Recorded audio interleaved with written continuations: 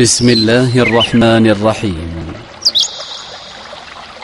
ولتكن منكم أمة يدعون إلى الخير ويأمرون بالمعروف وينهون عن المنكر وأولئك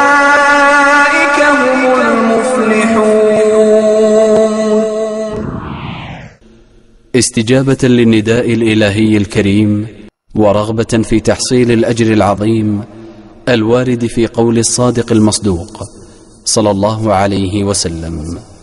فوالله لأن يهدي الله بك رجلا واحدا خير لك من حمر النعم.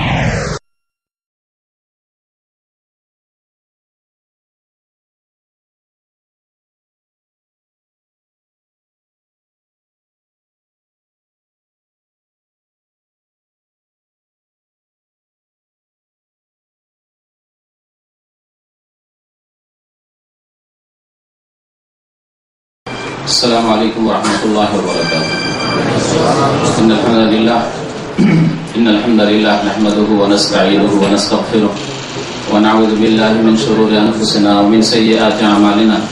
من يهده الله فلا مضل له ومن يضلله فلا هادي له. وأشهد أن لا إله إلا الله وحده لا شريك له. وأشهد أن محمدا عبده ورسوله. صلى الله تعالى عليه وعلى آله وصحبه وسلم تسليما كثيرا. يا أيها الذين آمنوا اتقوا الله حق تقاته ولا تموتن إلا وأنتم مسلمون. يا أيها الناس اتقوا ربكم الذي خلقكم من نفس واحدة وخلق منها زوجها وبث منهما رجالا كثيرا ونساء واتقوا الله الذي تساءلون به والأرحام إن الله كان عليكم رقيبا. يا أيها الذين آمنوا اتقوا الله وقولوا قولا سديدا. يصلح لكم أعمالكم ويغفر لكم ذنوبكم. ومن يطع الله ورسوله فقد فاز فوزا عظيما أما بعد. فإن خير الحديث كتاب الله وخير الهدي هدي محمد صلى الله عليه وسلم وشر الأمور محدثاتها وكل محدثة بدعة وكل بدعة ضلالة وكل ضلالة في النار أعوذ بالله من الشيطان الرجيم بسم الله الرحمن الرحيم إن كل شيء خلقناه بقدر সম্মানিত ভাতৃমণ্ডলী সম্মানিত অতিথিগণ আল্লাহ আকরাবুল আলমিনের সর্বপ্রথমে যাবতীয় প্রশংসা যে আল্লাহ আকরাবুল আলমিন আমাদেরকে সৃষ্টি করেছেন এবং আমাদের প্রত্যেকটি বিষয়কে সুপরিমিত করেছেন। সে আল্লাহর যাবতীয় প্রশংসা যে আল্লাহ আকরাবুল আলমিন আমাদেরকে সঠিক পথ দেখিয়েছেন। বলুন, আলহামদুলিল্লাহ। এই মর্মে আল্লাহ ফাকরুল আলমিন সুরাই আলাই ইরশাদ করেছেন ইসমা রব্বিকাল আলাল্লাযী খালাকা ফাসাওয়া ওয়াল্লাযী কাদ্দারা ফাহাদা। আল্লাহ নির্ধারিত করেছেন, সুপরিমিত করেছেন মানে তকদীর নির্ধারিত করেছেন। ফাহাদা অতঃপর দিক নির্দেশনা দিয়েছেন, রাস্তা দেখিয়েছেন। সম্মানিত ভাইরা আজকে বিষয়বস্তু হচ্ছে তকদির সম্পর্কে। তকদির এই শব্দটি হচ্ছে আরবি শব্দ। তকদির যারা আরবি ভাষার সামান্য গ্রামার বুঝেন, তারা ভালো করে জানেন যে এই শব্দটি হচ্ছে মাস্টার ইউকাদ্দেরু তকদিরান। থেকে মাস্টার হচ্ছে তকদির। কাদ্দারা আল্লাহ বলছেন কাদ্দারা। সেই থেকে তকদির হচ্ছে মাসদার। মানে যে কোনো শব্দের উৎস যাকে বলা একে আরবিতে মাস্টার বলা এই তকদির শব্দ, আরবি শব্দ হলেও আমাদের কাছে খুব পরিচিত শব্দ। আমরা সবাই বাংলা ভাষায় বুঝি। যে তকদিরকে বিভিন্ন শব্দ দিয়ে আরও ব্যক্ত করা হয়, যেমন তকদিরকে নসিব বলা আমাদের দেশের অনেক মানুষরা বলে যে অমুক লোকের নসিব ভালো, কারণ নসিব খারাপ। শব্দটি কিন্তু আরবি। নসিব। নসিব শব্দ হচ্ছে আরবি শব্দ। কিন্তু একেও বাংলা ভাষা, ভাষাভাষী ভাইরা বুঝেন ভালো করে। এই তকদির বা নসিবকে বলা হয় ভাগ্য। এই ভাগ্য সম্পর্কে আজকের আলোচনা। এই বিষয়টি হচ্ছে আকিদার বিষয়, অর্থাৎ বিশ্বাসের বিষয়। ইসলামের মৌলিক যেগুলি বিশ্বাস রয়েছে, সেসব বিশ্বাসের বিষয়ের একটি বিষয় হচ্ছে তার দিন বা ভাগ্যের প্রতি বিশ্বাস। এর সম্পর্কে আলোচনা করতে গিয়ে কয়েকটি দিক নিয়ে আপনাদের সামনে আলোচনা করব। তার একটি দিক হচ্ছে এর শাব্দিক অর্থ যা বললাম এবং এর শরীয়তের পারিভাষিক অর্থ যা আপনাদের সামনে উল্লেখ করব, তা হচ্ছে আল্লাহ পাক রব্বুল আলমিন যা প্রত্যেক সৃষ্টির জন্য নির্ধারণ করেছে নির্ধারণ করা আল্লাহ রব্বুল আলমিনের প্রত্যেক সৃষ্টি শুধু মানুষ নয়, প্রত্যেক সৃষ্টির জন্য, এমনকি আসমানের জন্য, জমিনের জন্য অন্য অন্য সৃষ্টি জগৎ, প্রাণী, সমস্ত কিছু, গাছপালা ইত্যাদি, সমস্ত কিছুর জন্য যা কিছু আল্লাহ পাক নির্ধারিত করেছেন, এর নাম হচ্ছে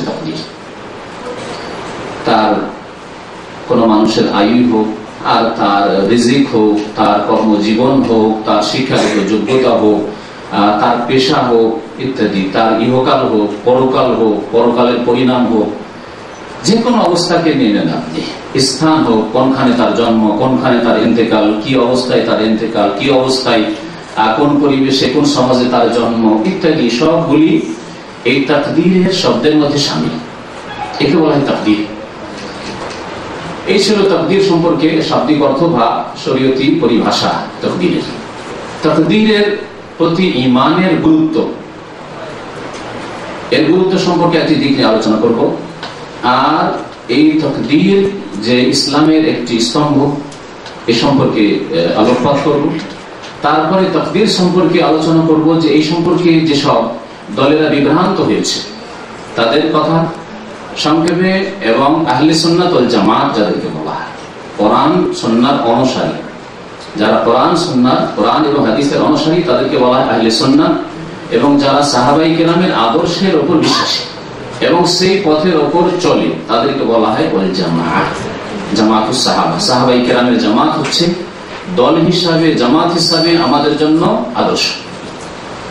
রসুল্লাহ সাল্লামের পরে এই রাস্তার উপর যারা আছে তারা হচ্ছে আহলে সুন্নাতুল জামাত। তাদের বিশ্বাস, তাদের আকিদা তকদির সম্পর্কে।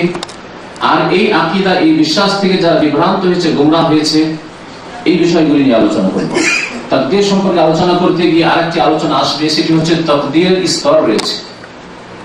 তকদির সম্পর্কে অলমাইকের আমরা কয়েকটি স্তরের কথা উল্লেখ করেছেন। তকদির যে কোরআন সন্ন্যার স্পষ্ট একটি বিষয় এবং এর প্রতি বিশ্বাস প্রত্যেক মানুষের জন্য ফরজ, অতক্ষণ পর্যন্ত কোন মানুষ মুসলিম, মমিন হতে পারবে না, যতক্ষণ পর্যন্ত সেই ব্যক্তি তকদিরে বিশ্বাসী না হবে।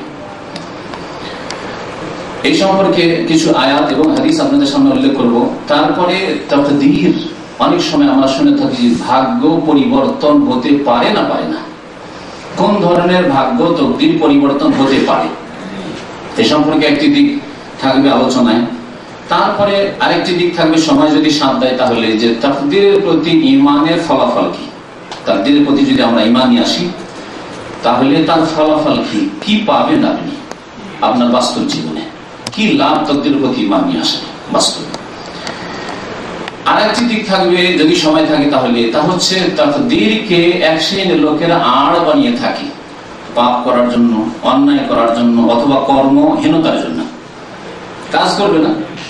কর্ম করবে না, আমল করবে না, নামাজ পড়বে না আর দিনকে আঁকড়ে ধরবে না, আল্লাহর বিধানকে বাস্তবায়ন করবে না, আর তকদিরকে তারা আড় বানিয়ে থাকে। আগে যা আছে এই বিষয়টি তকদিরকে আড় বানানো, তকদিরের আশ্রয় নেওয়া, যে তকদিরে যা আছে তা হবে এই বিষয়টি হচ্ছে আরেকটি বিষয়।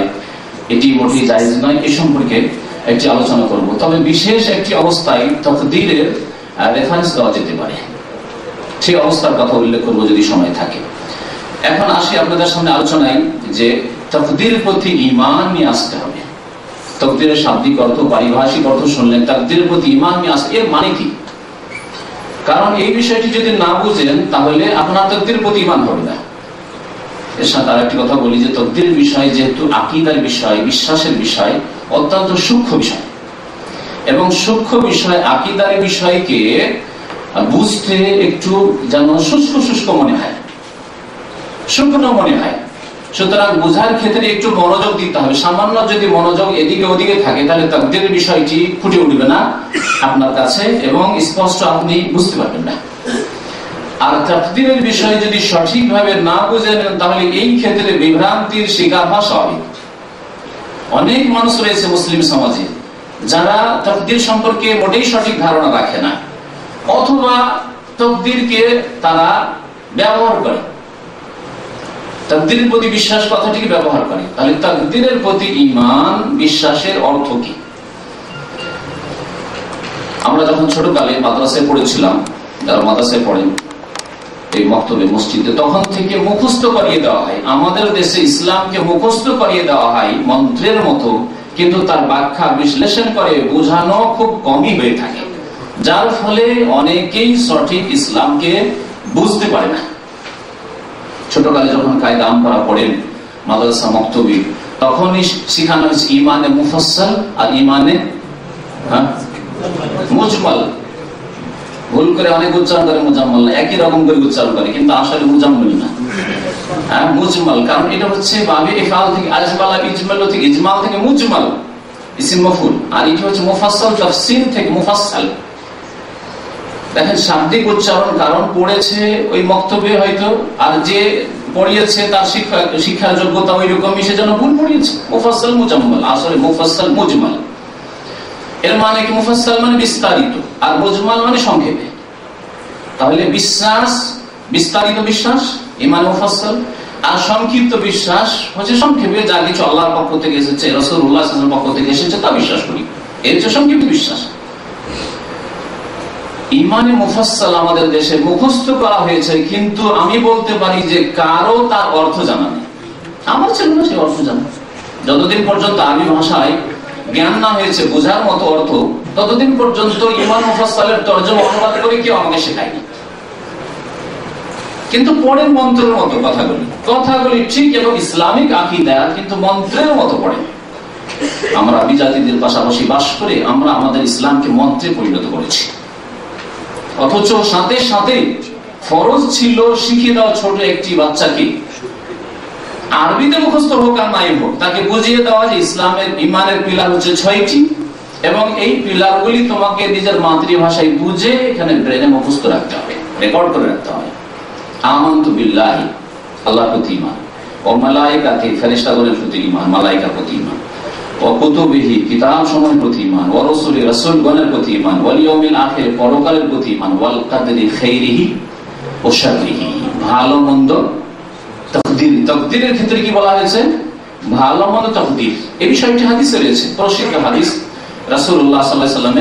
একবার মানুষের ধরে সালাম মদিনায় মসজিদ নবীতে আসলেন। আসার পরে সাল্লাল্লাহু পাঁচটি প্রশ্ন করেছিলেন। তার একটি ছিল ঈমান সম্পর্কে।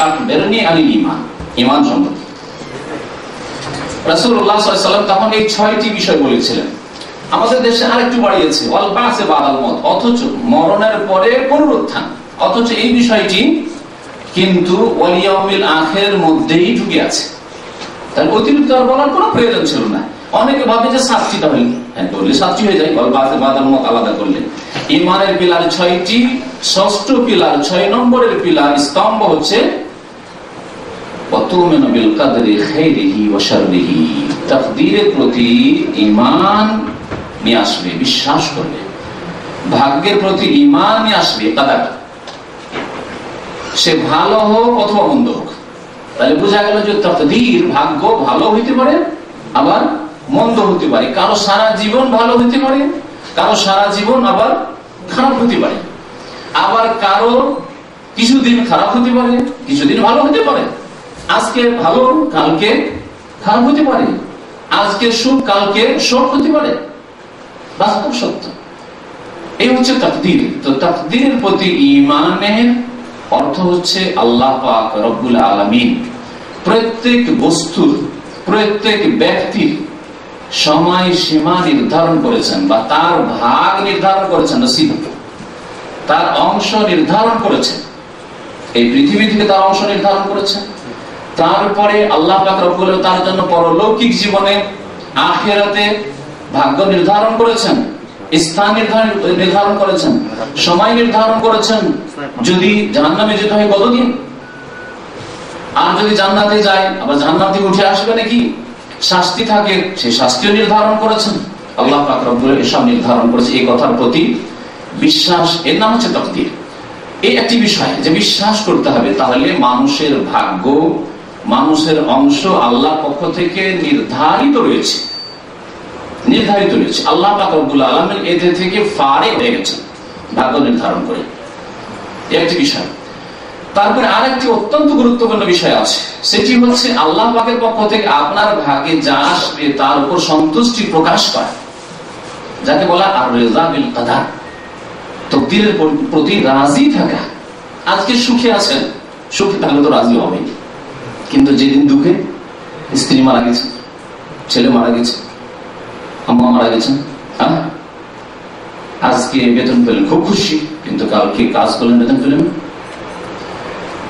হ্যাঁ, ব্যবসা করলেন কিন্তু লস খেয়ে গেলেন ক্ষতিগ্রস্ত হলেন বিদেশে আসার চেষ্টা করলেন কিন্তু ক্ষতিগ্রস্ত হয়ে গেলেন ইত্যাদি। সুখে থাকেন আর শোকে থাকেন যে অবস্থায় থাকেন তাতে সন্তুষ্টি প্রকাশ করতে হবে। অভিযোগ চলবে না। অভিযোগ করবেন কার কাছে? যদি কোনো মানুষ বলে যে, ভাই, আমার তকদির খারাপ, আমি কেন এই পৃথিবীতে এসেছিলাম? কেন এমন হইল।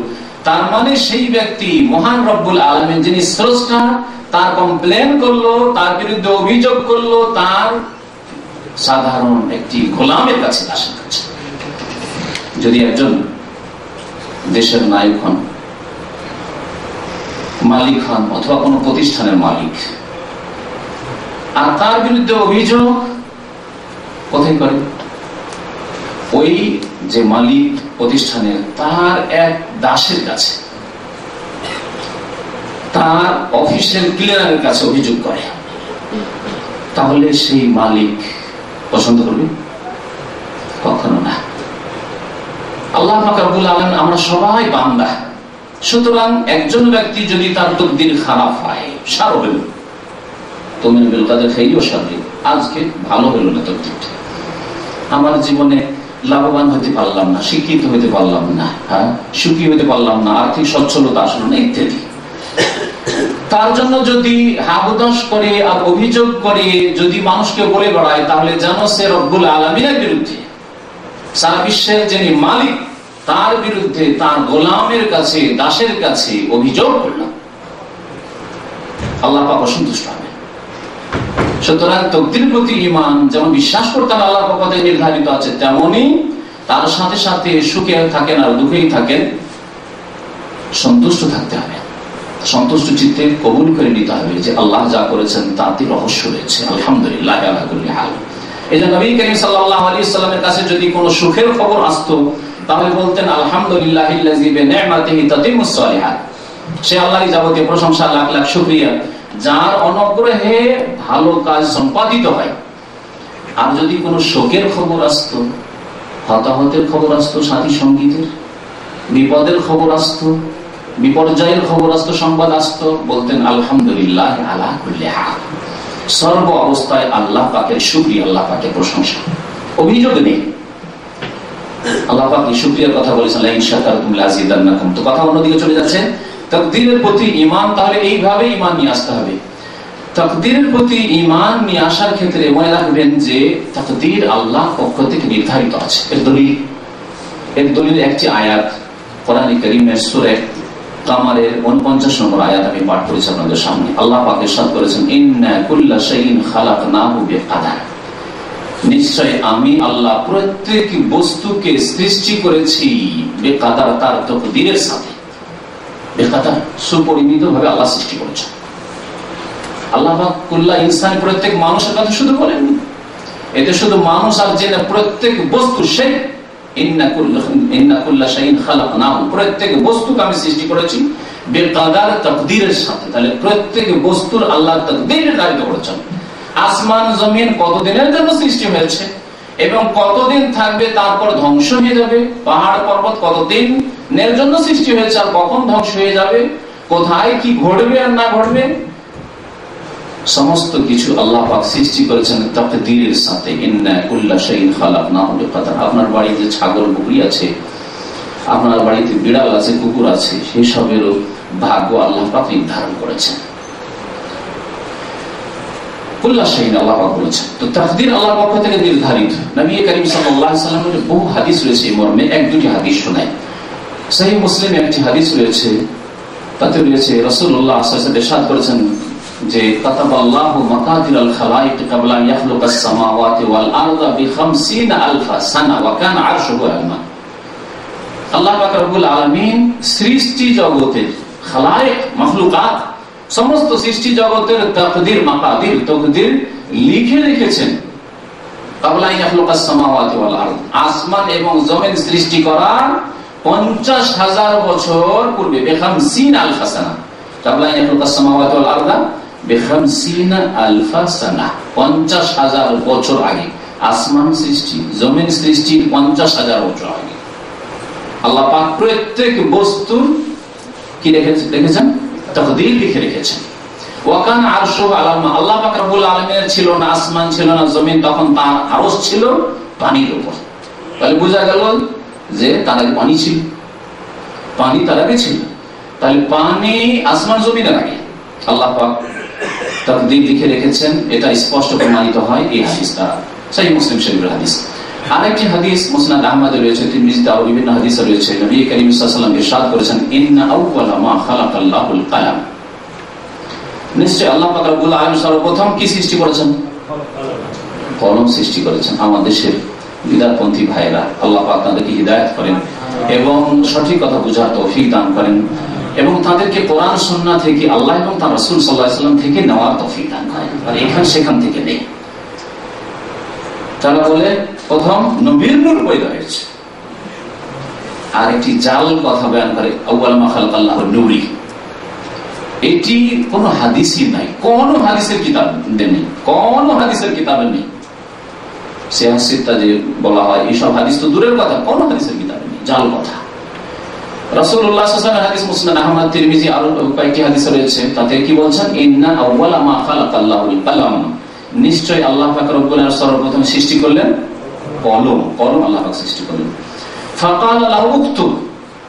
আল্লাহ কলম। বললেন তুমি লেখো। লিখো। কলম বলছে মা হে রব, হে প্রতিপালক, হে আল্লাহ, কি লিখব? নবী করিম সাল্লাল্লাহু আলাইহি করেছেন, আল্লাহ পাক বললেন কলমকে সম্বোধন করে যে উক্তুব মাকাদিরা কুল্লি শাইইন ইলা ইয়াউমিল কিয়ামাহ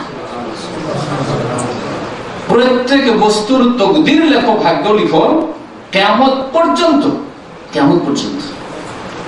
আর কখন লেখা হয়েছে? আসমান জমির সৃষ্টির পঞ্চাশ হাজার বছর পূর্বে। আসমান জমিন সৃষ্টি তাহলে পঞ্চাশ বছর আগে আল্লাহ কলম সৃষ্টি করেছেন। আর কলম সৃষ্টি করে লিখতে বলেছেন রাসূলুল্লাহ সাল্লাল্লাহু আলাইহি বলেছেন আনিল হাওয়া ইন হুয়া ইল্লা ইউহা। আল্লাহ পাক সূরা নাজমে যে রাসূলুল্লাহ সাল্লাল্লাহু আমাদের মতো খেয়াল, খুশি অনুমান ভিত্তিক কথাবার্তা বলতেন না। বিশেষ করে দিনের ক্ষেত্রে আর দিন মানুষের কাছে পৌঁছে দেওয়ার জন্য, আল্লাহ প্রদত্ত বিধান মানুষকে জানিয়ে দেওয়ার জন্য আল্লাহ পাক তাকে রাসূল করে প্রেরণ করেছেন। নিজের খেয়াল খুশি করে কথাবার্তা বলতেন। ইন হুয়া ইল্লা ওয়াহিয়ুন, যে কোনো কথা বলতেন, তা হতো ওয়াহি, ইউহা, যা তার কাছে ওহি করা হতো, তাকে জানিয়ে দেওয়া হতো, তারপরে বলতেন। তিনি বলেছেন এসব কথা। এছাড়া বহু হাদিস রয়েছে তাকদীর সম্পর্কে। তাকদীর সম্পর্কে আরেকটি বিষয় আলোচনা করব, তা হচ্ছে তাকদীরের চারটি স্তর আছে। আমরা এ সম্পর্কে নলেজই রাখি না, তবে সাধারণ মানুষ সাধারণ মানুষ যদি তকদিরকে যেভাবে প্রথমখানে বললাম, বিশ্বাস করে যে তকদিরের প্রতি আমার ইমান আছে।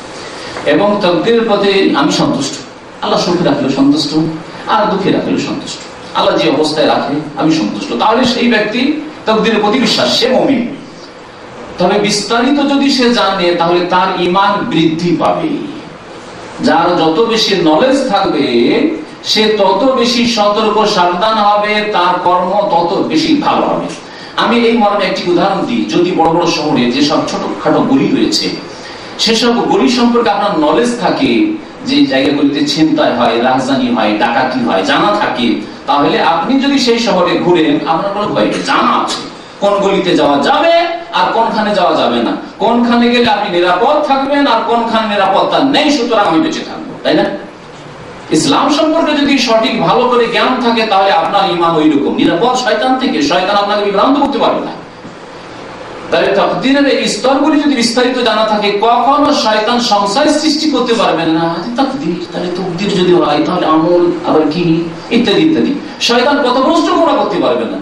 কিন্তু প্রাথমিক পর্যায়ে আপনার ইমান বিশ্বাস আছে, আজকে ইমান আছে, কালকে দু চার বছর, পাঁচ বছরে কোন সময় শয়তান সংশয় ঢুকিয়ে দিতে পারে এইভাবে শয়তান বিভ্রান্ত করতে পারে, কারণ আমাদের মতো মানুষকে এককালে বিভ্রান্ত করেছে শয়তান। তকদির সম্পর্কেও। তো এই তকদিরের স্তরগুলি কোরআন এবং হাদিস দ্বারা প্রমাণিত। কোরআন ইকরিমের আয়াত রয়েছে। তকদিরের অলমাই বলেছেন, চারটি স্তর আছে আর প্রত্যেকটি স্তরের প্রতি আপনার বিশ্বাস থাকতে হবে। প্রথম স্তর তকদিরের হচ্ছে যে আল্লাহ পাক সমস্ত বস্তু সম্পর্কে, সমস্ত ব্যক্তি সম্পর্কে সৃষ্টি করার পূর্বে থেকে আজল থেকে মানে তার কোনো আদি অন্ত নেই। আজল থেকে বলার অর্থ, আমাদের সেই কথাটি বুঝে না? আজল থেকে মানে প্রথম থেকে এর কোনো শুরু নেই। তখন থেকে মানে সর্বদাই আল্লাহ পাক রাব্বুল আলামিন জানেন যে কে কোথায় সৃষ্টি হবে, কে কোথায় আসবে, কে কোথায় মরবে। প্রত্যেকের তকদির ভাগ্য সম্পর্কে আল্লাহ পাকের ব্যাপক জ্ঞান রয়েছে। আল্লাহ পাকের ইলম এক কথা বলে ইলমুল্লাহ আল্লাযী ওয়াসিয়া শাই আল্লাহ পাক রাব্বুল আলামিনের মহাজ্ঞান সমস্ত কিছুকে পরিব্যাপ্ত ইন্নাল্লাহ কাদ আহাতা বিকুল্লি শাইইন। ইলমা আল্লাহ পাক রব্বুল আলামিন সমস্ত বস্তু বিষয় সম্পর্কে সম্যকভাবে জ্ঞাত। জ্ঞাত মানে হওয়ার পর যেমন আমরা মানুষ মানুষ হিসাবে আমরা সৃষ্টি হওয়ার পরে ধীরে ধীরে ধীরে ধীরে কিছু জানলাম, কেউ বেশি জানলো, কেউ কম জানলো, তাই না? তারপরে আমরা জানার ক্ষেত্রে চোখের সামনে যা আছে জানছি, চোখের আড়ালে জানছি? বর্তমানেও চোখের আড়ালে যা আছে জানছি না। অতীতের যা কিছু ঘটেছে, তার যতটুকু নলেজ আমাদের ব্রেনে এসেছে, যতটুকু আমরা শিখেছি, পড়েছি, অতীত সম্পর্কে ইতিহাস, ততটাই জানছি, তার বেশি তো জানছি না। ভবিষ্যৎ সম্পর্কে আগামীকাল কি কি হবে? কিছুক্ষণ পরে কি হবে? পৃথিবীর অবস্থা কি হবে? আর দু চার দশ বছর, পঞ্চাশ বছরে কিছুই জানি না। ঠিক না? প্রত্যেক সৃষ্টির ক্ষেত্রে অবস্থা। কিন্তু আল্লাহ পাক রব্বুল আলামিন যেমন অতীত জানেন, তেমন বর্তমান জানেন, তেমন ভবিষ্যৎ জানেন, এবং এই জানা আল্লাহ পাক রব্বুল আলামিনের প্রথম থেকে আছে। এর কোনো শুরু শেষ নেই আদি অন্ত নেই। এ হচ্ছে আল্লাহ পাক সবকিছু জানেন, এর প্রতি বিশ্বাস। তাহলে আপনার জন্ম, আমার জন্ম হবে একবিংশ শতাব্দীতে অথবা বিংশ শতাব্দীতে এতেকাল হবে অমুক কালে অমুক সালে। এই কথা আল্লাহ পাক রব্বুল আলামিন সর্বদাই জানেন। এটি হচ্ছে তকদিরের প্রথম স্তর আল্লাহ আর দ্বিতীয় স্তর হচ্ছে আল্লাহ পাক রব্বুল আলামিন যা জানেন শুরু থেকে সর্বদাই জানেন, তা কিছু আল্লাহ পাক লিখার হুকুম দিয়েছেন, লিখেছেন, কিতাবা। আল্লাহ পাক রব্বুল আলামিন সূরা হজের একটি আয়াত আলাম আরদ? তুমি কি জানো না? তুমি কি জানো না? আন্নাল্লাহ ইয়ালামু মা ফিস আরদ। আল্লাহ জানেন, যা কিছু আসমানে রয়েছে বা হচ্ছে, হয়েছে, হবে অমাফিল আর যা জমিনে রয়েছে, হয়েছে, হবে, হচ্ছে। কিতাব। আর এইসব কথা আল্লাহ পাকের কিতাবে রয়েছে। আল্লাহ পাকের কিতাবে রয়েছে। আল্লাহ পাকের কিতাব হচ্ছে লৌহি মাহফুজ আল্লাহ কালাম। তাহলে তকদিনের প্রতি বিশ্বাসের একটি বিষয় হচ্ছে, যেমন কলমে বিশ্বাস করলেন যে কলমটা আল্লাহ পাক লিখিয়েছেন, তেমনি লৌহ, আল্লাহ পাকে লৌহে মাহফুজ, সুরক্ষিত ফলক। তাতে প্রত্যেকের, প্রত্যেক বস্তুর, প্রত্যেক বিষয়ের তাকদীর লেখা রয়েছে, ভাগ্য লেখা রয়েছে। ইন্না যদি আমরা করি, আমরা যতটুকু জানি তাই যদি লেখা শুরু করি, বয়স লিখে শেষ করতে পারব না। যতটুকু দেখছি তাই যদি দৃশ্য বিভিন্ন শহর দেখলাম, বিভিন্ন লোক দেখলাম, বিভিন্ন দেশের মানুষ দেখলাম, তাদের আচার আচরণ দেখলাম, এসব যদি লেখা শুরু করি, সারা জীবন শেষ লিখে শেষ করতে পারব না। আল্লাহ আলমিন সবকিছুই জানেন আসমান জমিনের এবং সবকিছু ইন্না লালিকা ফি কিতাব। এসব আল্লাহর কিতাবে রয়েছে, লহে মাহফুজে রয়েছে। আর ইন্না লালিকা আল্লাহ ইয়াসির। ইহা আল্লাহ পাক রব্বুল জন্য অত্যন্ত সহজ। খুব সহজ আল্লাহর জন্য। তাহলে এই আয়াতে তকদিরের দুইটি স্তরের কথা আল্লাহ পাক উল্লেখ করেছেন। দুইটি স্তরের কথা উল্লেখ করেছেন যে আল্লাহ পাক সবকিছু জানেন আসমান, জমিনে। তার কোন আদি অন্ত নেই। সব সময় আল্লাহ পাক জানেন। সবকিছুই জানেন। প্রকাশ্য, অপ্রকাশ্য। জাহের বাতেন, সবকিছু আল্লাহ পাক জানেন। আর আল্লাহ পাক যা জানেন, সবকিছুই জানেন, আল্লাহ পাক রব্বুল সব সমস্ত বস্তুর তকদির, ভাগ্য লাউহে মাহফুজে লিখে রেখেছেন। ওই হাদিসগুলি দ্বারা লিখার প্রমাণ হয়। আর জানার ক্ষেত্রে হাদিস এবং আয়াত বহু রয়েছে। দুটি স্তর হয়ে গেল। তৃতীয় স্তর হচ্ছে আল্লাহ পাক রব্বুল আলমিনের ইচ্ছা এরাদা বা মশিয়াত তৃতীয় স্তর। আল্লাহ পাক রব্বুল আলামিন যা ইচ্ছা করেছেন তা সৃষ্টি করেছেন। যখন যাকে ইচ্ছা করেছেন, তখন তাকে সৃষ্টি করেছেন। যখন যে বস্তু আল্লাহ ইচ্ছা করেছেন, তখন সেই বস্তু করেছেন। যখন যে উন্নতি দেওয়ার কথা, তখন সেই উন্নতি দিয়েছেন আজকে। সায়েন্স এবং টেকনোলজির যুগ, আল্লাহ পাক এই উন্নতি যখন ইচ্ছা করেছেন, তখন দিয়েছেন। যা দিয়েছেন, তা আল্লাহ পাক রব্বুল আলামিন তার ইচ্ছা মোতাবেক দিয়েছেন এবং যা দেননি, তা ইচ্ছা মোতাবেক দেননি। এমন কথা নয় যে পারেননি। কারণ আমরা অনেক সময় আজকে না হয় বক্তব্য করছি, তাই না? আজকে থেকে যদি পঁচিশ বছর আগের কথা, ত্রিশ বছর আগের কথা নেন, তাহলে আমি বক্তব্য করতে পারতাম না, ঠিক কিনা? আল্লাহ রাব্বুল আলামিন সম্পর্কে এইরকম ধারণা করবেন না যে আজকে সায়েন্স টেকনোলজির যুগে মানুষকে আল্লাহ পাক ব্রেন দিয়েছেন, বুদ্ধি দিয়েছেন, এখন আল্লাহ পেরেছেন। আর আজকে থেকে চোদ্দশো বছর আগে নবী করিম সাল্লামের জামানায় আল্লাহ হয়তো অপারগ ছিলেন, তাই না? না। আল্লাহ ইচ্ছা করলে তখনই দিতেন এরোপ্লেন কিন্তু আল্লাহ ইচ্ছা করেননি নবী করিম সাল্লামের প্রসিদ্ধ হাদিস মাশা আল্লাহ কানা ইয়াশা লেন এখন আল্লাহ যা চেয়েছেন তা হয়েছে। পৃথিবীতে যখন যা চেয়েছেন তাই হয়েছে। এবং যা আল্লাহ পাক চাননি, তা হয়নি।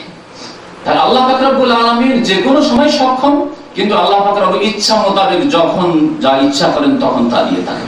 আল্লাহ পাক আজ আপনার রেজেককে, রুজিক আল্লাহ প্রশস্ত করেছেন, আজকে আল্লাহ চেয়েছেন। আল্লাহ আপনাকে আজকে সৎ বানিয়েছেন, নামাজি বানিয়েছেন, ধার্মিক বানিয়েছেন, আল্লাহ পাক রব্বুল আলামিন চেয়েছেন।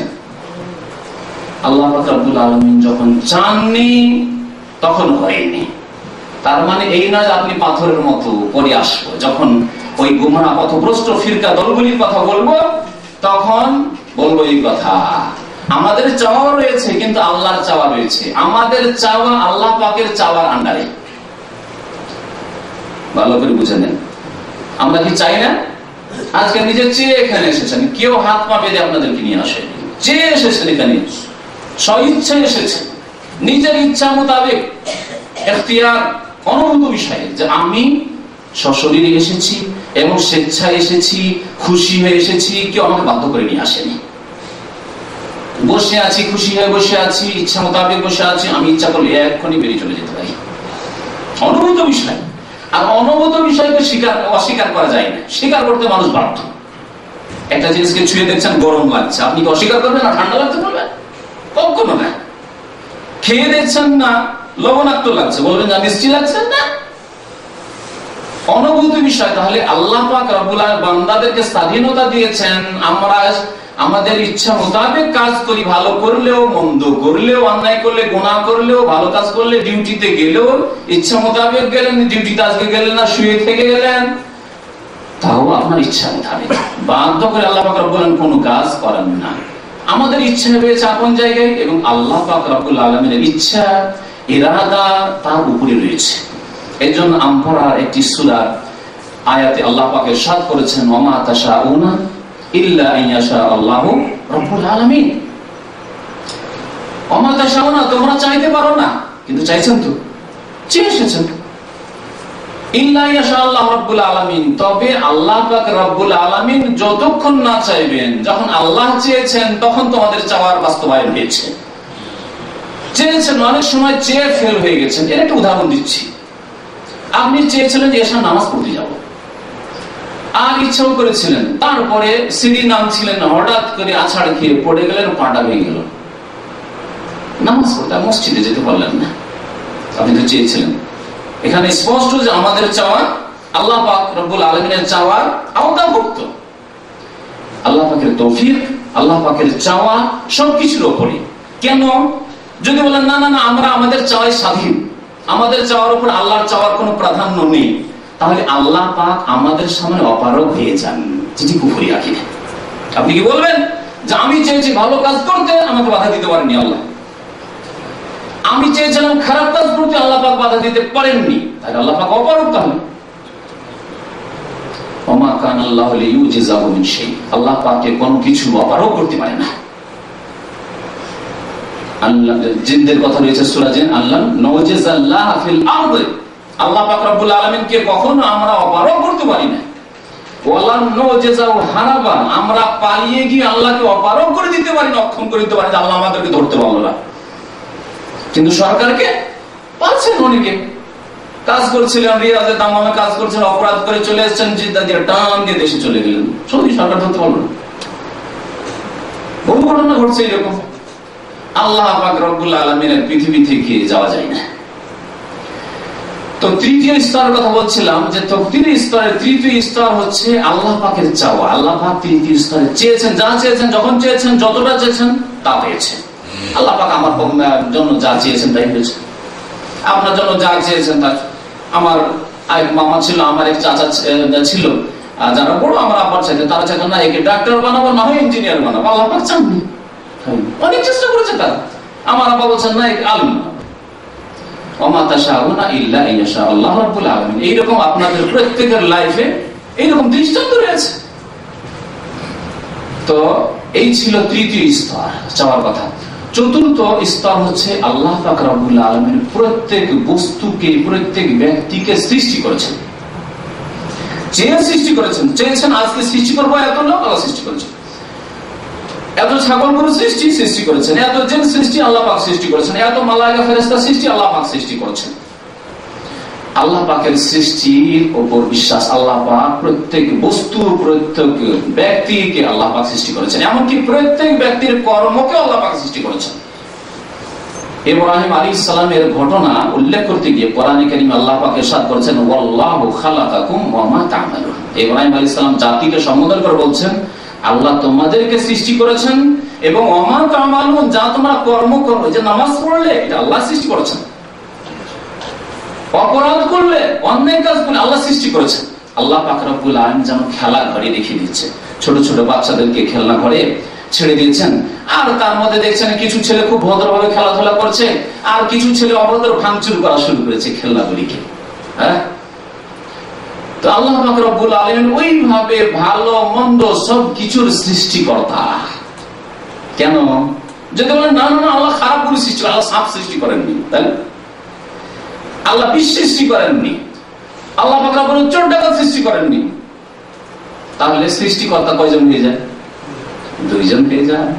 যারা বিভ্রান্ত হয়েছে, গোমরা হয়েছে তকদিরের ক্ষেত্রে তারা এইরকম সংশয় পড়ে গিয়ে আল্লাহ কি করে সাপ সৃষ্টি করতে পারে? আল্লাহ কি করে চোর ডাকাত সন্ত্রাসীকে সৃষ্টি করতে পারে? আল্লাহ রব্বুল্লাহ আলমিনী কি করে ক্ষতিকর বস্তু যেগুলি সৃষ্টি করতে পারে? আল্লাহ কি করে পাপকে সৃষ্টি করতে পারে? তাহলে পাপের সৃষ্টিকর্তা, খারাপ বস্তুর সৃষ্টিকর্তা এক, আর ভালো কাজের ভালো বস্তু, ভালো ব্যক্তির সৃষ্টিকর্তা আর এক। দুই সৃষ্টিকর্তা হয়ে যায়। অগ্নি পূজকদের আকিদা ছিল। মজুস অগ্নি পূজকদের আকিদা ছিল যে আল্লাহ ওদের কাছে দুই ঈশ্বর রয়েছে। অগ্নি পূজকদের কাছে দুই ঈশ্বর রয়েছে। এক ঈশ্বর হচ্ছে খালেকুল খাই ভালো কিছু সৃষ্টি করেছেন। আলো সৃষ্টি হয় লাইট যে সৃষ্টি করেছেন। আলো সৃষ্টি করেছেন হচ্ছে খালেকুল খাই আর অন্ধকার খালেকুজুলুমা অন্ধকার সৃষ্টি করেছেন, বলছে যে যে ঈশ্বর অন্ধকার সৃষ্টি করে, খারাপ জিনিস সৃষ্টি করে, নিকৃষ্ট সৃষ্টি করে সৃষ্টি করেছে। তাহলে দুই দেবতা বা দুই ঈশ্বরের পূজা করে অগ্নি পুজো করা।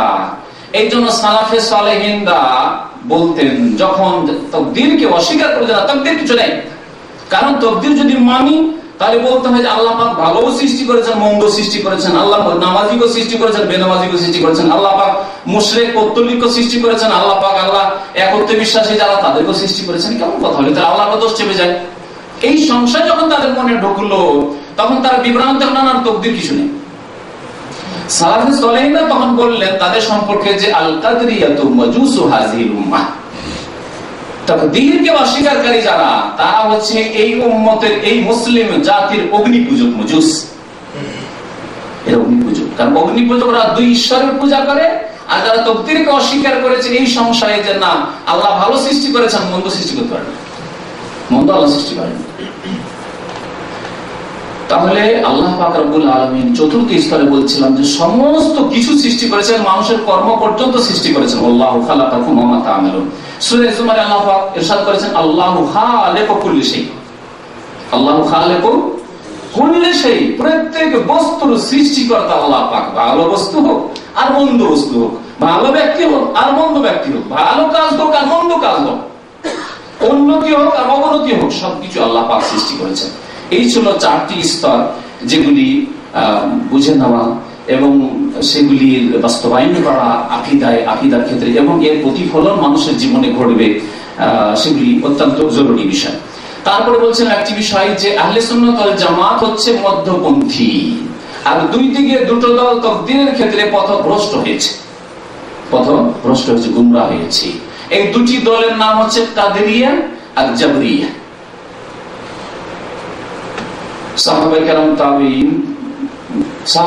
শেষ জামানায় এবং তাবিনদের শুরু জামানায় শুরু হয়, এই বিরাট শুরু হয়।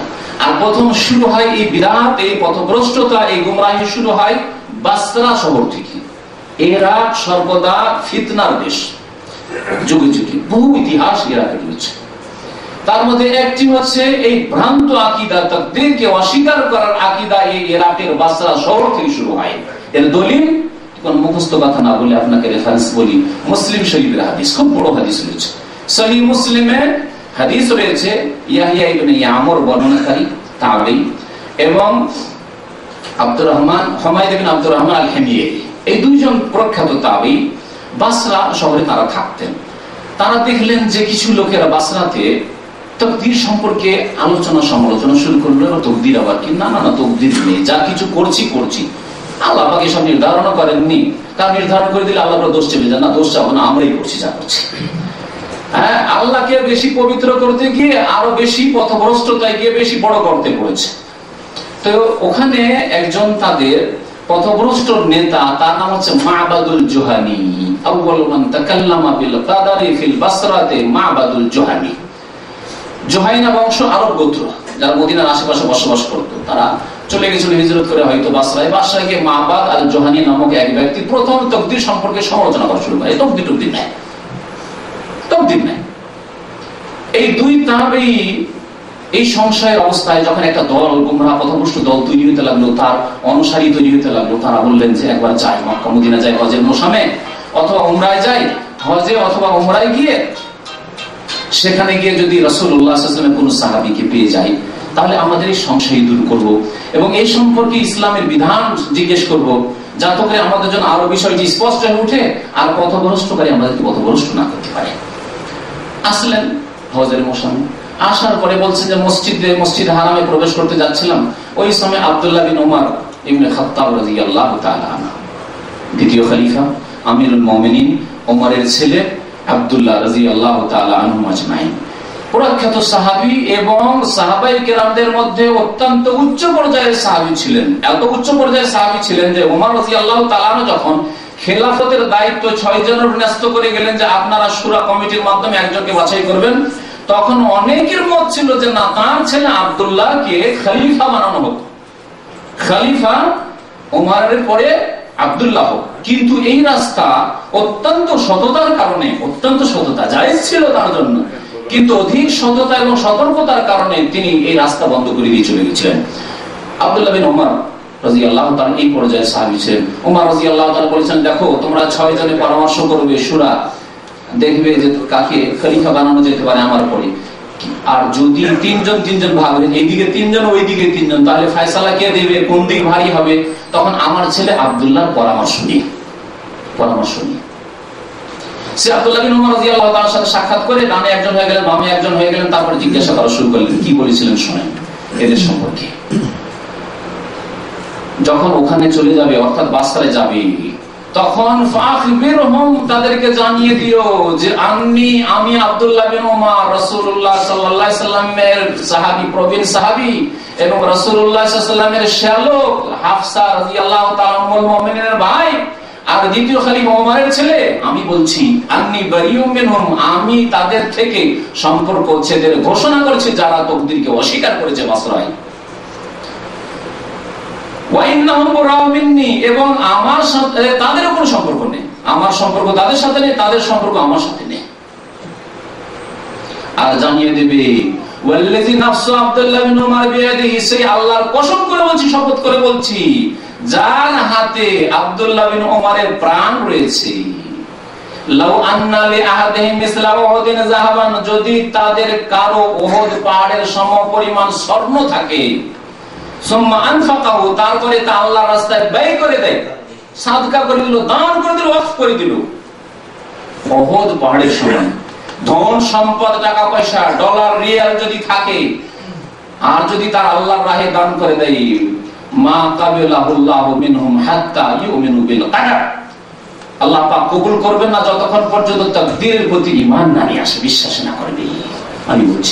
তারপরে প্রসিদ্ধ হাদিস হাদিস যে প্রসিদ্ধ, সেই হাদিস উল্লেখ করলেন। তাতে যে পাঁচটি প্রশ্ন শুরুতে বলছিলাম, তার একটি সাল্লাল্লাহু বললেন, যখন জিজ্ঞাসা হলো যে জিজ্ঞেস করলেন যে, ঈমান সম্পর্কে আপনি বলুন তো দেখি বলেন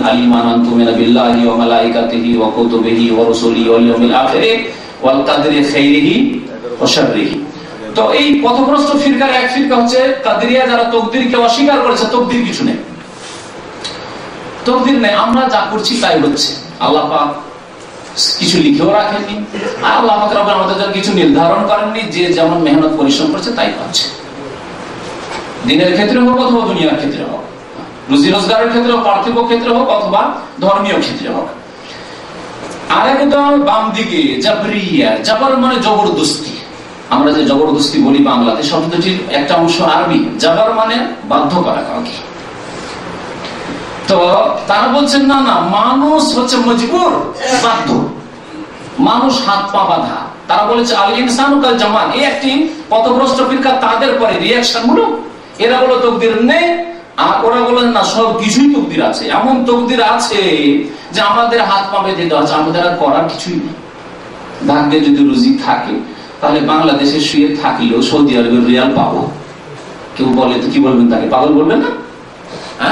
ভাগ্যে যদি রিয়াল থাকে, তো পাসপোর্টেরও প্রয়োজন নাই, ভিসারও প্রয়োজন নাই, ঢাকা আসারও প্রয়োজন নাই, দূতাবাসে যাওয়ারও প্রয়োজন নাই এজেন্ট ধরারও প্রয়োজন নাই, আমার পল্লী গ্রামে শুয়ে থাকলে আমার রিয়াল ঘরে চলে আসে। এটা রিয়া। আর ভাগ্যে যদি জান্নাত থাকে, তাহলে নামাজ রোজা করি আর না করি আর দিন করি আর না করি, জান্নাত পাবোই, পাবো। আর ভাগ্য যদি খারাপ থাকে, আর যদি জাহান্নাম থাকে, নামাজ রোজা, সেজদা, যতই কিছুই করি, কিছুই হবে না জান্নাত এইভাবে আর আমাদের করণীয় কিছুই নেই, বাধ্য। মনে রাখবেন, তকদির আল্লাহ পাকের লিখে রাখা মানে কর্মহীনতা না যে তকদিরের ভরসা করবেন।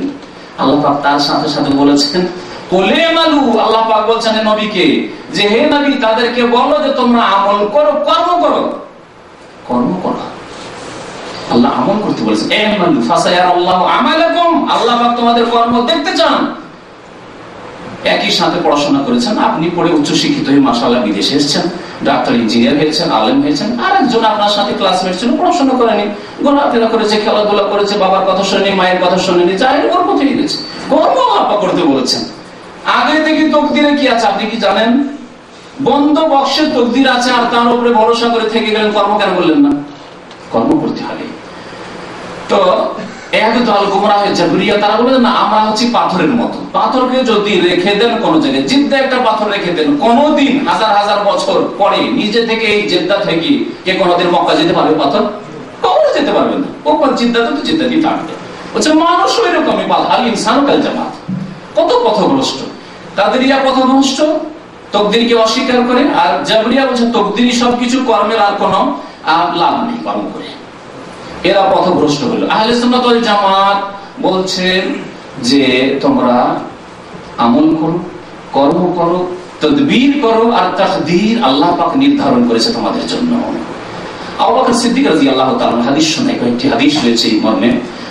সিদ্দিক রাদিয়াল্লাহু তাআলা একবার জিজ্ঞাসা করলেন যে রাসূলুল্লাহ আহমদ হাদিস রয়েছে যে মানুষ যেসব কাম করছে, এসব কাজকর্ম কি লিখা আছে? আল্লাহ পাক লিখে রেখেছেন? না, লেখা টিখা নেই। যা হচ্ছে হচ্ছে।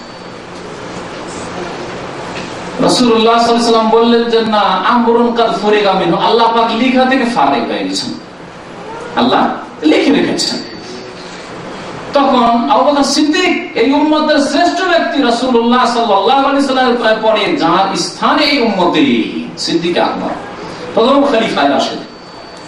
বলছেন ফাফিমা আমাল ইয়া রাসূলুল্লাহ, তাহলে আমল করে লাভ কি? এই প্রশ্ন তিনি করেছিলেন, উত্তর কি এসেছিল শুনুন, সেই উত্তর আপনার জন্য যথেষ্ট। উত্তর অবকাশ সিদ্দিকের জন্য যথেষ্ট হয়েছে, এক লাখ চব্বিশ হাজার সাহাবাই কেরামের জন্য যথেষ্ট হয়েছে, সেই উত্তর আপনার জন্য, আমার জন্য যথেষ্ট। তাহলে আমল করে লাভ হবে কিছু? বললেন এ মালু, কর্ম করো, আমল করো, নামাজ পড়ো, রোজা রাখো জাকাত দাও মাতা পিতার সেবা করো কাজ করো, সততা অবলম্বন করো, বিশ্বস্ত হও, খেয়ানত করিও না বেইমানি করি না আত্মসাত করিও না, নামাজ ছাড়িও না শির করিও না, কুফুরি করিও না, আমল করো ধর্মের ক্ষেত্রে, দুনিয়ার ক্ষেত্রে কর্ম করো, পড়াশোনা করো, মেহনত করো, পরিশ্রম করো, রুজি রোজগারের জন্য চেষ্টা করো, ব্যবসা করো না চাকরি করো, বিদেশ যাওয়ার চেষ্টা করো। এমালু কাম করো, কাজ করো। কারণ প্রত্যেকের জন্য সহজ করে দেওয়া, এই পয়েন্টটা অত্যন্ত গুরুত্বপূর্ণ মনে রাখবেন। প্রত্যেকের জন্য সহজ করে দেওয়া হবে, যার জন্য তাকে সৃষ্টি করা হয়েছে। আপনাকে জন্য বিদেশি রুজির জন্য সৃষ্টি করা হয়ে থাকে, তাহলে এই রাস্তা আল্লাহ সুগম করে দেবেন। চেষ্টা করেন একটু। একটু হরকত করেন তো বরকত বেরোবে হরকত করে গ্রাম থেকে আসলেন, আর একটা ভিসার জন্য চেষ্টা করলেন, চট করে ভাগ্যে থাকে সামনে চলে আর আসলেন এখানে ভালো একটা কফিল পেয়ে গেলেন কোম্পানি আর যদি তকদির খারাপ থাকে, তাহলে মেহনত করে মেহনত করবেন, হয়তো মেহনত কাজে না। কাজ করতে হবে, বসে থাকলে হবে না। কাজ করতে বলা হয়েছে। তো এই তকদির সম্পর্কে দুটি দল পথভ্রষ্ট হয়েছে, আহলে সন্ন্যত ওয়াল জামাত, মধ্যপন্থী। কর্ম করতে হবে এবং তকদির আল্লাহ পাকের পক্ষ থেকে লেখা রয়েছে। আল্লাহ পাক রব্বুল আলামিনের এই তকদির আপনার তকদিরকে ভালো করার জন্য অথবা ভালো তকদির পর্যন্ত পৌঁছার জন্য কাজ করতে আল্লাহ পাক বলেছেন। কাজ করা আর এটি অনুভূত বিষয় যে আল্লাহ পাক তকদিরও লিখে রেখেছেন। আর আমরা অনুভূতি, আমাদের অনুভূতি বলছে যে না, আমাদের স্বাধীনতা রয়েছে। স্বাধীনভাবে নামাজ পড়ছি, স্বাধীনভাবে কর্ম করছি, স্বাধীনভাবে আমি মেহনত করছি, পরিশ্রম করছি, এই ব্যবসা করলাম, এই করলাম। একটি উদাহরণ দিই। তাদেরকে বোঝাবার জন্য একটি উদাহরণ দিই, কারণ সময় হয়তো শেষ হয়ে আসছে মনে হয়। একটা পার্থিব উদাহরণ দিচ্ছি, ভালো করে স্পষ্ট হবে। আজকাল ভালো ভালো ডাক্তার হয়েছে, যেসব ডাক্তার এটা ক্যান্সার রোগী যদি থাকে, অথবা এরকম জটিল রোগ যেগুলি, জটিল ব্যাধি, বলে দিচ্ছে যে আর চিকিৎসা করে লাভ নেই। ছয় মাস থেকে ভালো করে যা খাওয়ার খাইয়ে নেন বা এক মাস যা খাওয়াবেন খাইয়ে নেন লাভ নেই চিকিৎসা করে, টাকা পয়সা লস করে লাভ নেই। পাঁচ লাখ, দশ লাখ টাকা খরচ করবেন, কোনো লাভ হবে না। আপনি এই বিশেষজ্ঞ, ভালো ডাক্তারের কথার উপর ভরসা করে নিয়ে এসে ভালো কাজ চিকিৎসা করে লাভ নেই ভালো ডাক্তার বলেছে। তারপরে দেখা গেল, ঠিক এক মাস বলেছে, এক মাসের মধ্যেই মারা গেল লোকটি। ছয় মাস বলেছে, ছয় মাসের মধ্যে লোকটি মারা গেল। বলেন, আপনাদেরকে জিজ্ঞাসা করেছি, এই ডাক্তারের প্রশংসা করবেন না দুর্নাম করবেন? প্রশংসা করবেন। বরং শুধু প্রশংসা না, এলাকাতে আপনি অ্যাডভার্টাইজ করে বেড়াবেন।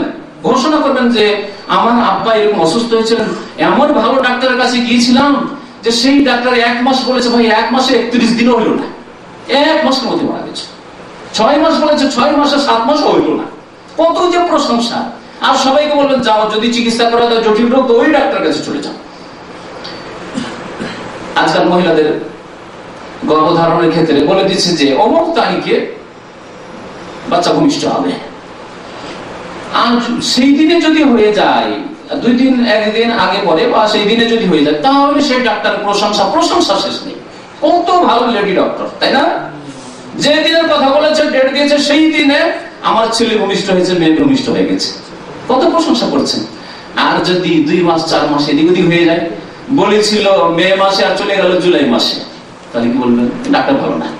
আল্লাহ পাক রব্বুল আলমিনের জন্য উত্তম দৃষ্টান্ত। আল্লাহ পাক রব্বুল বলেছেন যে আব্দুর রহমান, তুমি ষাট বছর বয়স পাবে, আর একবিংশ শতাব্দীতে এতদিন বাঁচবে, জন্ম হবে বাংলাদেশে, সৌদি আরবে চাকরি করবে, ব্যবসা করবে, এতটা শিক্ষিত হবে, তারপর এই অবস্থায় তুমি মারা যাবে। আল্লাহ পাকে লিখে রেখেছেন, জানেন, লিখে রেখেছেন লহে মাহফুজে। আল্লাহ প্রশংসা করবেন না বদনাম করবে? বলুন। আলহামদুলিল্লাহ বলবে। অসহায় সৃষ্টি ওই ডাক্তার হ্যাঁ যে সামান্য সায়েন্স পড়েছে, তার প্রশংসা করছেন। আর ডাক্তারের সৃষ্টিকর্তা আল্লাহ তার প্রশংসা করবেন না যে আল্লাহ, তুমি কত জানো আল্লাহ যে সবকিছু তুমি লিখে রেখেছো। আর যেমন তুমি জানো, তেমনই হয়েছে। একটু এদিক ওদিক হেরফের হয়নি। আল্লাহ আমাকে সুক্রিয়া আদায় করবেন এইভাবে বুঝতে হবে। এছাড়া তকদির সম্পর্কে আরও বেশ কিছু বিষয় ছিল, সেদিকে এগিয়ে যাচ্ছেন, সময় শেষ হয়ে গেছে। তকদিরের প্রতি যদি থাকে, তার বেশ কিছু ফলাফল রয়েছে। পার্থিব জগতে ফল তো অবশ্যই রয়েছে, যে তাকদিরের প্রতি বিশ্বাস ছাড়া জান্নাত পাওয়া যাবে না। আল্লাহ কোনো কবুল করবে না যে ব্যক্তি বিশ্বাসী নয়। কিন্তু দুনিয়াতেও এর ফায়দা রয়েছে। তাকদিরের প্রতি যদি বিশ্বাস থাকে, ভালো মন্দ যা কিছু আল্লাহ পাকের পক্ষ থেকে, আমাকে আমার কর্ম চালিয়ে যেতে হবে। কর্ম চালিয়ে যেতে হবে। আচ্ছা এই ক্ষেত্রে এই ফলাফলের সাথে আরেকটি কথা বলে দিই, সময় শেষ হয়ে যাবে সেই জন্য, যে তকদিরকে আমরা আড় বানাই শুধু ধর্মীয় ক্ষেত্রে, পাপ করার ক্ষেত্রে, অথবা ফরজ, অজেব আদায় করব না। আল্লাহ গফর রহিম। ভাগ্যে যদি জান্নাত থাকে তো আল্লাহ দিল নামাজ পড়বে না ভাগ্যে যদি জান্নাত থাকে পেয়ে যাব। তাই না? বলে না? পাপ করবে, অন্যায় কাজ করবে, ভাগ্যে থাকলে জান্নাত পেয়ে যাব। ফিল্ম দেখলে কি হবে, আর পাপ করলে কি হবে অন্যায় কাজ মদ খেলে কি হবে? ভাগ্যে জান্নাত থাকলে পেয়ে যাব। পাপ করার ক্ষেত্রে আর ধর্মীয় ক্ষেত্রে শুধু তকদিরকে আড় বানায় আর যদি তাকে বলা হয় এক কাজ করো তাহলে। ভাগ্যে যদি থাকে, তো রুজিও পেয়ে যাবে, রিয়াল ডলারও পেয়ে যাবে। তুমি বাড়িতে গিয়ে বসো। বাড়িতে গিয়ে বসো। শুয়ে থাকো। কখনো করবে? কোন পাগল ওই কাজ করবে না। যে পাগল কিছু বুঝে বোধ শক্তি সামান্য আছে, আধা পাগল সেই কাজ করবে না যে না কাজ করব, দুনিয়ার কাজ করব ছেড়ে দিয়ে বসে থাকি। তাহলে দুনিয়ার ক্ষেত্রে কেউ এইরকম জাহেল মূর্খ না। দিনের ক্ষেত্রে, ধর্মীয় ক্ষেত্রে এবাদত বন্দীগীর ক্ষেত্রে, এখানে কে কেন জাহেল মূর্খ হয়ে যায়? তকদিরকে আড় বানানোর চেষ্টা করে। কখনো না। তো বলছিলাম যে তকদিরের প্রতি যে ইমান থাকে, তাহলে আল্লাহ পাক রব্বুল আলমিনের প্রতি ইমান বৃদ্ধি হবে এবং আল্লাহ পাক যা কিছু করেছেন তাতে হেকমত রয়েছে, রহস্য রয়েছে। কেমন? কেমন রহস্য রয়েছে? একটা উদাহরণ দিই। আপনার একটা ছেলে, একটি ছেলে মাত্র। আর সেই ছেলেটি দুই বছর বয়সে, এক বছর বয়সে মারা গেল। ও কত যে কষ্ট যার একটি ছেলে আর মারা গেছে, সে বুঝে। ওটা হয়তো আমরা বুঝাতে পারব না, বাস্তবে। কিন্তু যদি তকদিরের প্রতি বিশ্বাস থাকে এটা বলবেন আলহামদুলিল্লাহ। কি বলবেন? বলবেন, এটাও শুক্রানা ইন্নালিল্লাহ যা কিছু দিয়েছেন, আল্লাহ ছেড়ে দিয়েছেন এটি কার? এটি আল্লাহ। এমনকি আমিও আল্লাহ। এবং নিশ্চয় আল্লাহর কাছে ফিরে যেতে হবে। আজকে আমার গেছে, কালকে আমাকে যেতে হবে। এবং আলহামদুলিল্লাহ বলবেন। আলহামদুলিল্লাহ কেন বলবেন? কেন বলবেন শুনে আপনাকে। খেজের আলাইহিস সালাম আর মুসা আলাইহিস সালামের ঘটনায় একটা ছেলেকে খেজের আলাইহিস সালাম কি করেছিলেন? মেরে ফেলেছিলেন না? বাহ্যিক কত অপরাধ? কত বড় অপরাধ বাহ্যিক চিন্তা করুন, একটা নবী এখন আল্লাহওয়ালা ব্যক্তি আমাদের এই ভাই সাহেব, আমাদের এই শেখ সাহেব একটা ছেলেকে মেরে দেয়, চরম অপরাধ, তাই না? কিন্তু আল্লাহ পাক রব্বুল আলামিন এই তাকদীরকে বোঝানোর জন্য যে আল্লাহ পাকের প্রত্যেকটি কাজে রহস্য আছে, হেকমত আছে, তত্ত্ব আছে। এই কথা বুঝিয়ে দেওয়ার জন্য খেজের আলাইহিস সালামের তিনটি দৃষ্টান্ত শুধু রেখেছেন তার মধ্যে একটি এই হত্যা করার ঘটনা। হাদিসে কি বলা হয়েছে? যে এই ছেলে যদি থাকতো, কোরআনে বলা হয়েছে, ফাখাশিনা আইয়ুরে কামামা তুগিয়ানা ওয়া কুফরা। খেজর আলাইহিস সালাম বলছেন যে, আমার আশঙ্কা হলো যে এই ছেলে যদি বড় হয়। আর সহিহ বুখারী শরীফ হাদিসে রয়েছে যে, এই ছেলের জন্মই হয়েছে কুফরির উপর তো বিয়া কাফের। এর প্রকৃতি হচ্ছে কুফরি আর অবাধ্যতা, আল্লাহর অবাধ্যতা, মানুষের অবাধ্যতা মাতা পিতার অবাধ্যতা। এই ছেলে যদি বড় হয় আল্লাহ পাকের সাথে কুফরিত করবেই করবে, মানুষকে কষ্ট দেবে, জাতিকে কষ্ট দেবে মাতা পিতাকে কষ্ট দেবে। আপনার ছেলে বড় ডাকাত হয়, আর আপনার সামনে ওই ছেলেকে হাত পা বেঁধে যদি সরকারের লোকেরা পুলিশ নিয়ে আসে, আর তার জন্য যদি আপনাকেও ধরে নিয়ে যায়, কি অবস্থা হবে তখন? আল্লাহ এই জন্মিত তাই হতো। বলবেন না? আল্লাহ যে ছেলেটি নাই জন্মিত বা ছোটতে মরে যেত তাই ভালো হতো। অবশ্যই বলবেন। যখন ছেলেটি এক বছর, দুই বছর বয়সে আপনার মারা গেল, আপনি তো জানেন না যে রহস্য কি আছে। প্রতি বিশ্বাস এবং সন্তুষ্টি, আলহামদুলিল্লাহ, আল্লাহ তোমার কোন হিকমত অবশ্যই আছে কোন অবশ্যই আছে? এই ফায়দা আছে যদি প্রতি বিশ্বাস প্রতি যদি বিশ্বাস মানসিক শান্তি পাবেন। এই জন্য মুসলিম জাতি অমুসলিমদের সাথে তুলনা করলে তুলনামূলক সারা বিশ্বে আত্মহত্যার ঘটনা অমুসলিমদের মধ্যে সবচেয়ে বেশি। মুসলিমদের মধ্যে সবচেয়ে কম আরেকটি কথা শুনে রাখেন। আর গরিব দুঃখীরা দুঃখের কারণে, আর্থিক অসচ্ছলতার কারণে আত্মহত্যা করে না। আত্মহত্যার পরিসংখ্যান আমার কাছে রয়েছে। কারণ এর উপর আমি একটি আর্টিকেল লিখেছি আরবি ভাষায়। তো এই আর্টিকেলে দেখা গিয়েছে যে দুনিয়ার মধ্যে সবচাইতে ধনী দেশগুলিতে আত্মহত্যার ঘটনা বেশি ঘটছে। কারণ তাদের দিনের প্রতি বিশ্বাস নেই, আল্লাহর প্রতি বিশ্বাস নেই আল্লাহ হেকমত রহস্যের প্রতি বিশ্বাস নেই। তারা বড় আয়স আরামে থাকে এয়ার কন্ডিশনে থাকে তাদের টাকা পয়সা ডলারের অভাব নেই। ইউরোপ আমেরিকা জাপানের মতো দেশ যেগুলো উন্নত দেশ সেসব দেশে চীনের মতো দেশ সেই সব দেশে সবচেয়ে বেশি আত্মহত্যা আত্মহত্যা মুসলিম দেশে অত্যন্ত কম। কারণ মুসলিম জাতি ইমানের দিক দিয়ে দুর্বল হলেও তাদের তুলনায় অনেকটাই ভালো এবং ইমান আছে এখনও কিছু। আলহামদুলিল্লাহ। তো এই দিনের প্রতি ইমান থাকলে মানসিক শান্তি হবে। বেতন পেলাম না, কাজ করলাম, এক মাস বেতন পেলাম না। আলহামদুলিল্লাহ, আল্লাহ যদি চাকরি না দিতেন তুমি আলহামদুলিল্লাহ, তো দিনে নেই, ভাগ্যে নেই। চুরি হয়ে গেল, টাকা পয়সা দশ হাজার দিয়ে বাড়ি বাড়ি যাওয়ার জন্য, দেশে ছুটি যাওয়ার জন্য প্রস্তুত হচ্ছিলেন, ওই অবস্থায় টাকাটি চুরি হয়ে গেল। স্বর্ণ কিনেছিলেন, চুরি হয়ে গেল। আলহামদুলিল্লাহ, যদি আল্লাহ পাকে নাই দিতেন অনেককে তেমনি আল্লাহ তো এইভাবে তাকদীরের প্রতি ইমানের পার্থিব অনেক উপকারিতা রয়েছে। আল্লাহ পাক রব্বুল আলামিন যেন আমাদেরকে হক কথা বোঝার তৌফিক দান করেন এবং সত্যের প্রতি আমল করার তৌফিক দান করেন। আল্লাহ পাক রব্বুল আমাদের গুনাহ খাতা যেন মাফ করে দেন। একটি কথা বলব, শুধু তাকদীরকে কর্ম করার আগে আড় বানালে চলবে না, কিন্তু একটি দুর্ঘটনা ঘটে যাওয়ার পর। যেমন আপনি ড্রাইভিং জানেন না, আর গাড়ি চালাতে শুরু করলেন। কেন চালাবেন আপনি ড্রাইভিং জানেন না, ঠিক না? কিন্তু আপনি একজন ভালো ড্রাইভার ভালো ড্রাইভার সতর্কভাবে গাড়ি চালাচ্ছেন। দুর্ঘটনা ঘটে গেছে। দুর্ঘটনা ঘটে যাওয়ার পরে যদি আপনাকে কেউ তিরস্কার করে, আপনার বাবা এসে তিরস্কার করছে, আপনার বড় ভাই এসে তিরস্কার করছে, যে তুমি মূর্খর মতো গাড়ি চালাও, গাড়ি চালাতে জানো না, এই করো, সেই করো, কেন এরকম করলে তুমি অত বড় অ্যাক্সিডেন্ট করে দিলেন না এটি করা ঠিক নাই। এর দলিল বুখারী শরীফ হাদিসে রয়েছে, মুসা আলাইহিস সালাম আর আদম আলাইহিস সালামের এই তকদির নিয়ে কথোপকথন, তর্ক বিতর্ক। ওই আত্মার জগতে আত্মার জগতে আসমানে, ইল্লিনে আল্লাহ পাক রব্বুল আলামিনের সামনে দুইজনের তর্ক বিতর্ক। মুসা আলাইহিস সালাম বলছেন, আনতা আদম আকুনা? আপনি আমাদের পিতা আদম আলাইহিস সালাম। আল্লাযী আখরাজতা মিনাল জান্নাহ, আমাদেরকে জান্নাত থেকে বের করে নিজে তো বের হয়েছেন হয়েছেন, আমাদেরকে দুনিয়াতে বের করে দিয়েছেন। কত কষ্ট করতে হচ্ছে মেহনত করতে হচ্ছে কত কষ্টের জীবন, জান্নাত আরামে থাকতাম? কি করেছেন আপনি? তিরস্কার করা শুরু করেছেন আদম আলী ইসলাম আদম আলী ইসলামকে মুসা তুমি মুসা?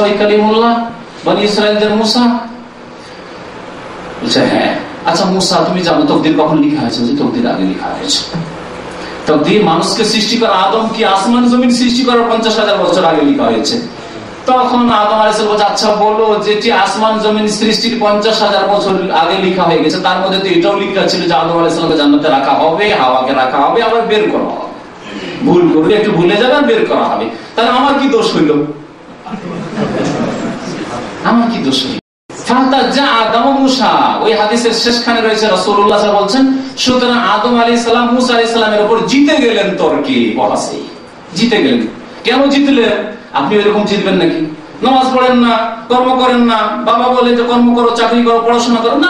যদি থাকে, মাস্টার ডিগ্রি তো মাস্টার ডিগ্রি এমনি পেয়ে এমনিতে হবে নাকি? না, কর্ম করার পরে মেহনত করলেন, পরিশ্রম করলেন, তারপরে ফেলিয়ার হলেন হইল না। তখন বলবেন যে যাক, ভাগ্যে যা ছিল তাই। যেহেতু আদম আলি সালামের ঘটনা ঘটে গেছে, তারপরে তাকে তিরস্কার করছেন মুসা আলি সালাম। সেই জন্য আদম আলি সালাম জিতে গেলেন।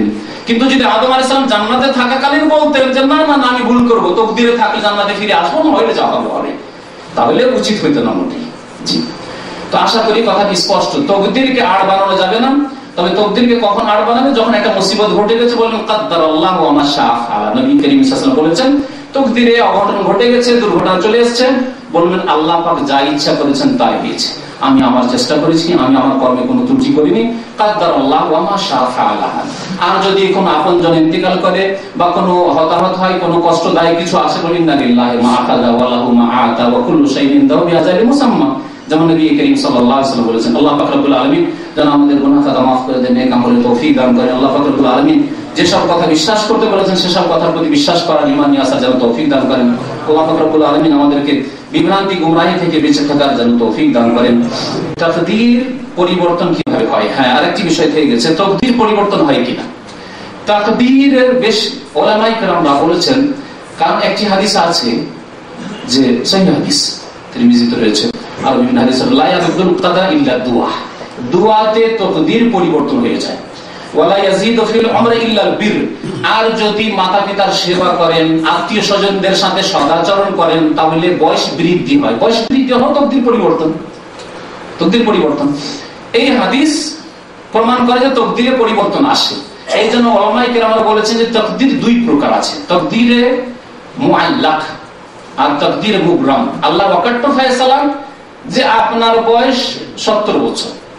আপনি এই অবস্থায় মারা যাবেন। আল্লাহ যদি অকাট্য ফয়সালা থাকে, অকাট্য ফয়সালা আছে। সেটাই হবে। যেমন আল্লাহ অকাট্য ফয়সালা হচ্ছে যে প্রত্যেক মানুষ বা প্রত্যেক প্রাণী মারা যাবে, তাই না? এখন এর ব্যতিক্রম ঘটবে? কেউ যদি দোয়া করে আল্লাহ, তুমি আমাকে মারিও না। আল্লাহ, দুনিয়া যাবে যা, কিন্তু আমি যেন না মরি। আমি যেন বেঁচে থাকি কেমন পর্যন্ত হবে, কোনোদিন হবে না। কারণ এটি আল্লাহর অকাট্য ফয়সালা যে মানুষ পৃথিবী থেকে মারা যাবে এবং আমাদের সাধারণত বয়স ষাট, সত্তর, আশি, একশো দুশো আড়াইশো বছর সাধারণত আগে এই জামানে পাওয়া যাবে না।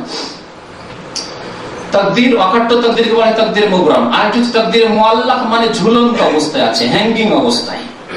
তার মানে সাপেক্ষ যেন বেশ কিছু বিষয় আমাদের লাইফে আল্লাহ পাক রব্বুল আলামিন লিখে রেখেছেন যে, এই লোকটি যদি মাতা পিতার ভালো সেবা করে জনকল্যাণমূলক কল্যাণমূলক কাজ করে, যদি মানুষের সাথে সদাচরণ করে, আত্মীয়দের সাথে ভালো ব্যবহার করে, তাহলে এর বয়স বাড়িয়ে দেওয়া হবে।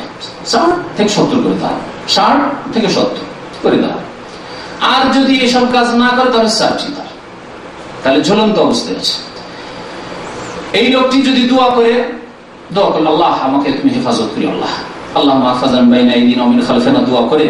আর হাদা, পড়ে এই পড়ে, গাড়িতে আল্লাহ লিখে রেখেছেন, এই লোকটি যদি দোয়া করে, গাড়িতে চাপিয়ে বের হয়, তাহলে দুর্ঘটনা হবে না। বা বেঁচে যাবে, দুর্ঘটনায়। আর যদি দোয়া না পড়ে দোয়া না করে তাহলে এর অ্যাক্সিডেন্টে দুর্ঘটনা পড়ে দুর্ঘটনা হবে। বা মারা যাবে ইত্যাদি বা আহত হবে। একে বলা হয় তকদির মোয়াল্লাক লা ইয়ারুদ্দুল কাদরা ইল্লা দু। দুআতে তকদির পরিবর্তন হতে পারে। এই ধরনের তকদির পরিবর্তন হতে পারে আল্লাহ ঝুলন্ত অবস্থায় শর্ত সাপেক্ষ রেখেছেন। যদি এরকম করেন হবে। আর কিছু কেন বলেছেন যে, বয়সের ক্ষেত্রে বয়স বাড়ে না। মানে বাহ্যিক এরকম ষাট থেকে সত্তর হয়ে যাবে অথবা আশি হয়ে যাবে মাতা পিতার সাথে সদাচরণ করলে, আত্মীয়দের সাথে সদ্ব্যবহার করলে এমনটা হবে না। তবে আভ্যন্তরীণ দিক থেকে বয়স বৃদ্ধি হয়। কেমন আভ্যন্তরীণ বয়স বৃদ্ধি হওয়া এটাকে বুঝায়। আমরা যদি পাঁচশো বছর বাঁচি, আমরা যদি পাঁচশো বছরও বাঁচি, তবুও ইমাম বখারি রহমতুল্লাহের মতো খেদমত করতে পারব না। পারব কি?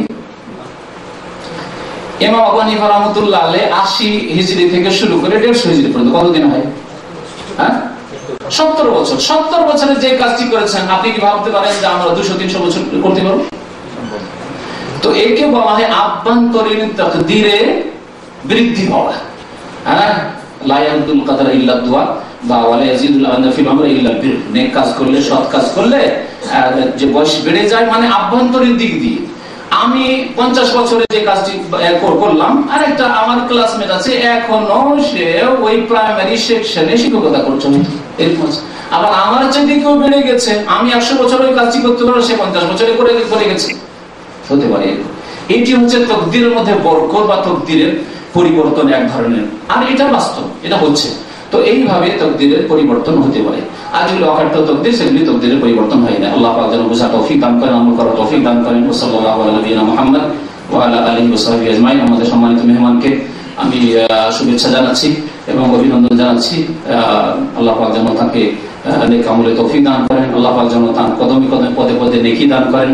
আল্লাহ পাক যেন তার এই, আমাদের এই পবিত্র অনুষ্ঠানে হাজির হওয়াকে আল্লাহ পাক যেন কবুল করেন। এবং আল্লাহ পাক যেন তার দ্বারা ইসলামের দেশের জাতির যেন সেবা নেন। সুবহান রাব্বিকা রাব্বিল ইজ্জাতি আম্মা ইয়াসিফুন ওয়া সালামুন আলাল মুরসালিন আলহামদুলিল্লাহি রাব্বিল আলামিন